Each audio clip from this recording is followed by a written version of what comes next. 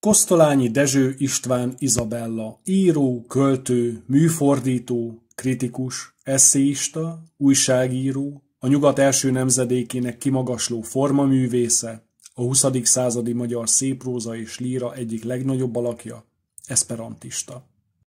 Üdvözöllek a péntek esti poétikában. Kellemes ünnepeket mindenkinek.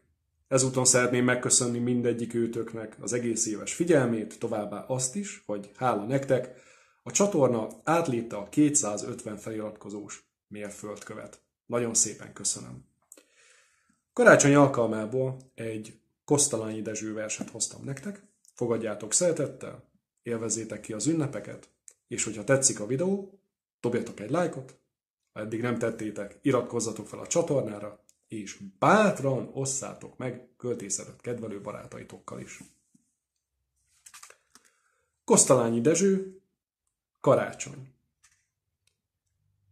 Ezüst esőbe száll le a karácsony, a kájha zúg, a hóesés sűrű. A lámpafény aranylik a kalácson, a kocka pörg, gőzöl a tej sűrű. Kik messze voltak, most mind összejönnek, a percet édes szóval ütni el. Amíg a tél a megfagyott mezőket karcolja, éles, kék jégkörmivel. Fenyőszagú a lég, és a sarokba ezüst tükörből bókol a rakott fa. A jó barát boros korsóihoz von. És zsong az ének áhítatba zöngve. Csak a havas pusztán a néma csöndbe sír föl az égbe egy-egy kósza mozdony.